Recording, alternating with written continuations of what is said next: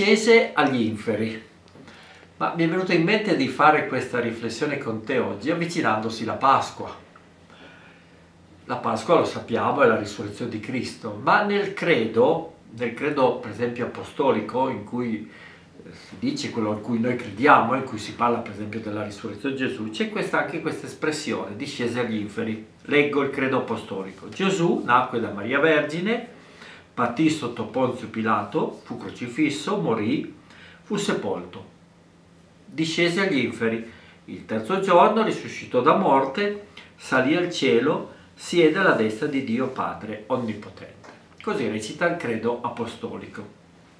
Beh, la vita di Gesù nacque da Maria Vergine, poiché patì sotto Ponzio Pilato, fu crocifisso, morì, beh, è descritta dai Vangeli, sicuramente è una cosa storica e sicuramente non c'è fatica a credere che abbia detto e fatto tante belle cose la risurrezione è difficile da comprendere, tutti noi lo sappiamo, è difficile credere nella risurrezione, però anche il fondamento del nostro essere cristiani. Come dire, siamo cristiani proprio perché crediamo nella risurrezione di Gesù.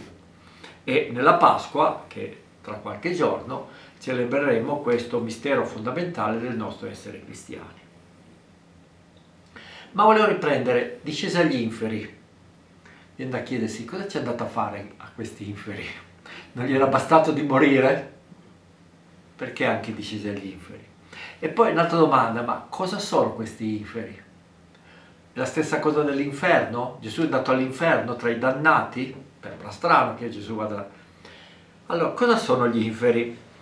Per rispondere a questa domanda possiamo leggere quel che dice la catopedia, Catopedia è un'enciclopedia che si trova online, cattolica, difatti ha proprio il nome Catopedia, quindi vuol dire secondo la dottrina cattolica. Leggo la definizione di catopedia. Gli inferi sono, nel linguaggio dell'Antico, del Nuovo Testamento e dei simboli della fede, credo apostolico, il soggiorno dei morti. Non vanno confusi con l'inferno, che è il luogo della dannazione eterna. Noi siamo più abituati a parlare di paradiso e inferno, gli inferi è il regno dei morti indistinti, prima del giudizio cosiddetto finale in cui verranno divisi i buoni dai cattivi. Allora gli inferi come regno dei morti, i greci lo chiamavano l'Ade, regno dei morti.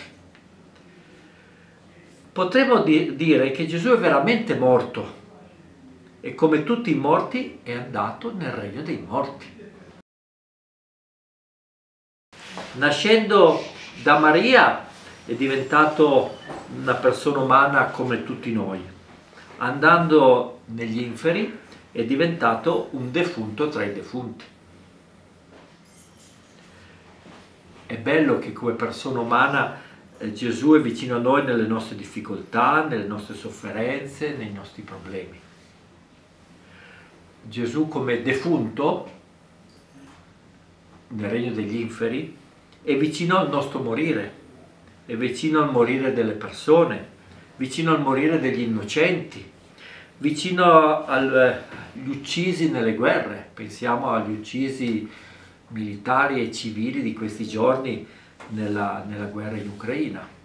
Gesù è vicino perché anche lui ha sperimentato l'andare negli, negli inferi si è sporcato, possiamo dire, le mani con le nostre difficoltà, con i nostri problemi, con i nostri peccati, con la nostra morte. La novità poi di Cristo è la sua risurrezione, certo, e questo è il fondamento della nostra fede. Ma viene da dire, Gesù non è risorto da solo, ma è risorto con noi. Ha messo in noi un segno di risurrezione esprimo bene questo concetto che Gesù è risorto insieme con noi, le icone orientali che ritraggono la risurrezione di Cristo.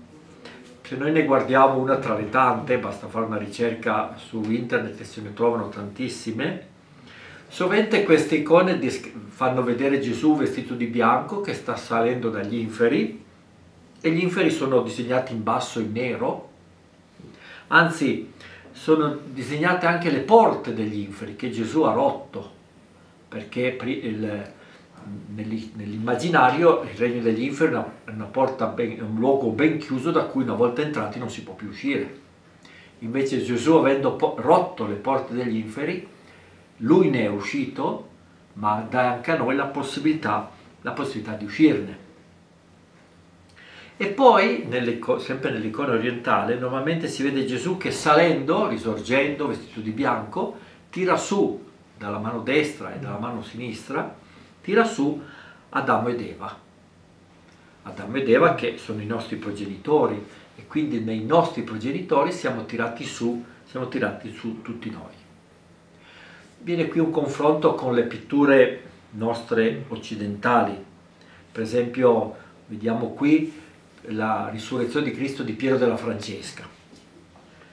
Beh, in queste pitture occidentali del 500, 600, dipende un po' dai vari secoli, sovente Gesù risorge da solo, risorge da solo.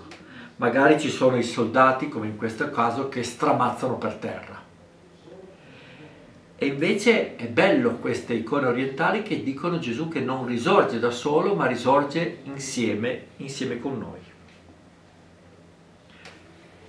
Dicevo, stiamo avvicinandoci alla Pasqua. Pasqua, passaggio da morte a vita di Cristo, certo, Gesù che risorge.